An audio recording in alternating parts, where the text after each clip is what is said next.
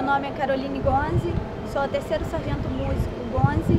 Me incorporei aqui no Batalhão da Guarda Presidencial, Batalhão de Caxias, em janeiro e sou uma das pioneiras na música no Exército. Eu vim de uma família de músicos, meu avô é músico, meu tio é músico, meu pai é músico.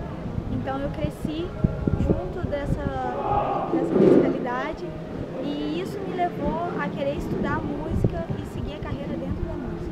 Nós fazemos as tarefas normais do batalhão, então nós fazemos CFM durante a manhã e cumprimos as missões da banda, apoiando outros quartéis e as missões internas também do próprio BGP. A nossa convivência é um meio muito, muito sadio e somos militares, então independente do segmento feminino, do segmento masculino, nós somos companheiros de farm.